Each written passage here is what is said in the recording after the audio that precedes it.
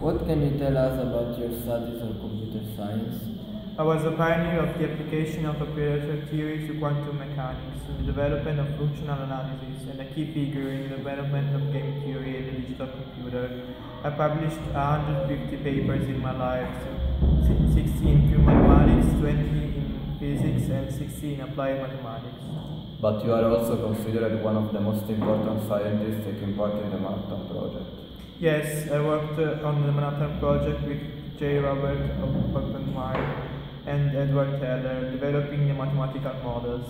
The, this involvement included frequent trips by train to projects, secret research facilities in Los Alamos, New Mexico. Is it true that you took part in the decision to use atomic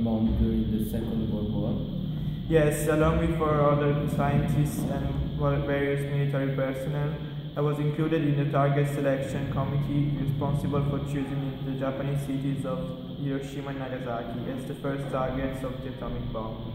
And uh, have you been also eyewitness with the first atomic explosion? Yes, on July 16, 1945, with members the Manhattan Project personnel, I was an eyewitness to the first atomic bomb blast, codenamed Lydia, conducted at the test of the implosion method device at the bombing range near uh, Alamogordo Army Airfield, 35 miles southeast of Socorro, New Mexico.